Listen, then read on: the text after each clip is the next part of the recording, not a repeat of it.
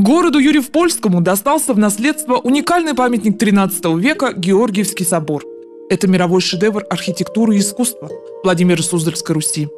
Был построен в 1230-1234 годах святым благоверным князем Святославом Всеволодовичем и украшен резьбой по белому камню от основания до главы.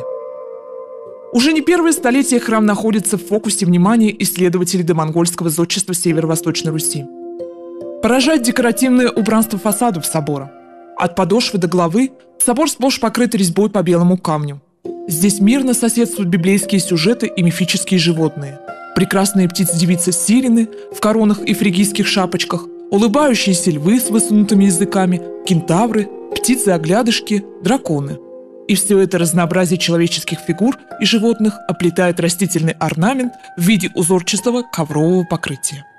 Внутренние помещения собора содержат небольшую коллекцию белых резных камней. Но самый основной и известный – это Святославов крест чудотворный. О нем свидетельствует камень, находящийся слева от распятия. На камне надпись, гласящая «Сей крест животворящий сделан князем Святославом в лето 1224 года». Как отмечает летописец, российские государи и великие князи церковь сию чтущи ю посещаху – Такое благоговение и почитание Георгиевского собора было связано именно со Святославовым крестом. Да и сам собор является всемирно известным памятником архитектуры XIII века. Каждый камень, составляющий его, стал поистине драгоценным. Современное положение шедевра мирового зодчества вызывает чувство острой боли и тревоги. Речь идет в частности о состоянии белого камня, как в интерьере, так и на фасадах собора. Внутри собора, особенно на опорных столбах, в виде кристаллических выцветов, напоминающих иней, выступают на поверхность соли. Влажность в соборе доходит до 92%, температура 1-2 градуса. Такой климат разрушительно действует на роспись, которая медленно шелушится и отпадает.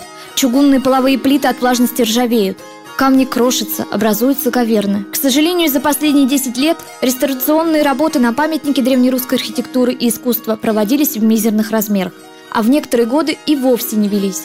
До сегодня Георгиевский собор находится в пользовании Юрьев-Польского историко-архитектурного и художественного музея.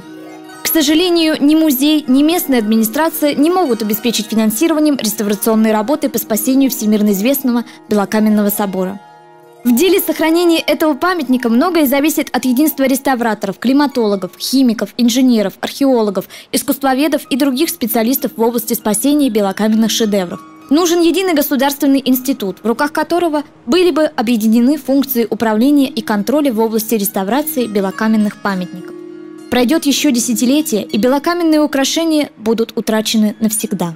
Необходима срочная комплексная реставрация или хотя бы компетентные работы по приостановлению дальнейшего его разрушения. Не имея комплексной программы и методики реставрации белого камня, Финансовых средств и специалистов провести работы по реставрации такого уникального памятника невозможно. Их можно проводить только с федеральной финансовой и, что не менее важно, научно-методической помощью. В достаточной мере профессиональном контроле за исполнением работ на этом сложном реставрационном объекте. Необходимо включить памятник в список особо ценных объектов культурного наследия, полномочия по государственной охране которых осуществляет Министерство культуры. Много написано про Георгиевский собор. Это, безусловно, жемчужина архитектуры и искусства. И во многом благодаря этому собору живет город Юрьев-Польский. Нам просто невозможно представить Юрьев без Георгиевского собора. Они как бы срослись в единое целое, и их связь на протяжении почти восьми столетий неразрывна.